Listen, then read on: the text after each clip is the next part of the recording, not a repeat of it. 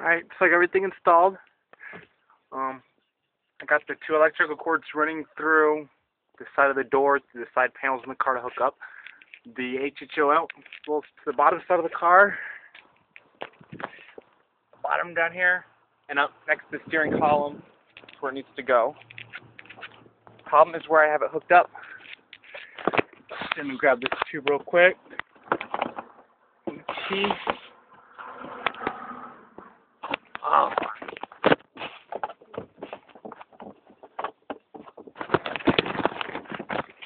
Alright, so here's the T.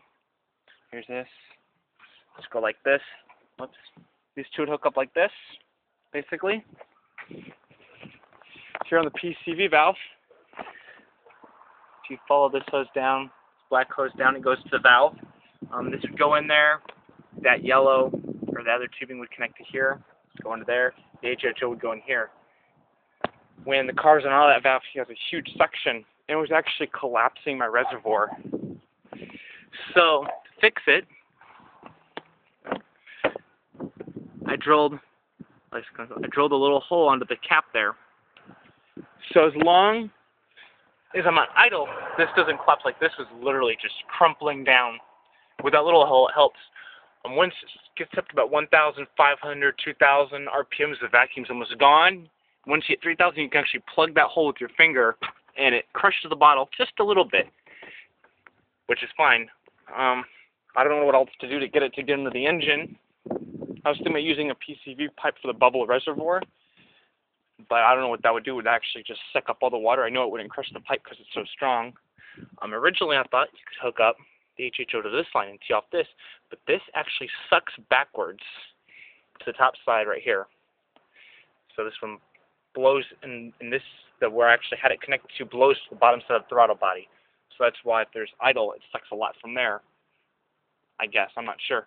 Um, the other option was to drill right here, seal it for the HHO in right next to the, the butterfly. I was hoping to avoid doing that because, you know, if I ever want to take it off, I'll have to get another one of these. I know they don't cost much, but it's a pain to swap them in and out all the time. Um, I just had a theory earlier that since this actually sucks, so far to tee off this right now on idle, I test it on idle, it sucks down and over this way.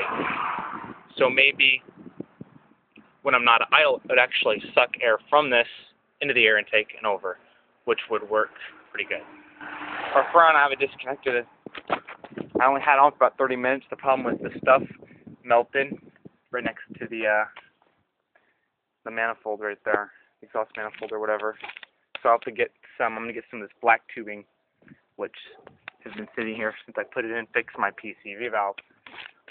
So, yeah, that's all there is. So that's the next step. I'm gonna do a test when I get off work later on today.